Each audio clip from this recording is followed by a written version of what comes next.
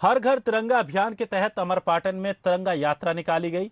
इस यात्रा में राज्य मंत्री राम खिलावन पटेल और जिला पंचायत अध्यक्ष राम खिलावन कुल शामिल हुए। शहर के मुख्य मार्गों से होती हुई यात्रा सीएम राइज स्कूल पहुँची। इस तिरंगा यात्रा में एसडीएम आरती यादव, सीएमओ सुषमा मिश्रा, थाना प्रभारी संदीप भारती समाज सेवी स्कूली बच्चे सहित बड़ी संख्या में लोग शामिल हमारे देश के यशस्वी प्रधानमंत्री माननीय नरेंद्र मोदी जी ने आह्वान किया था कि तेरह, चौदह और पंद्रह अगस्त को तिरंगा यात्रा निकाली जाएगी। हर घर तिरंगा, घर घर तिरंगा लगाने का काम होगा।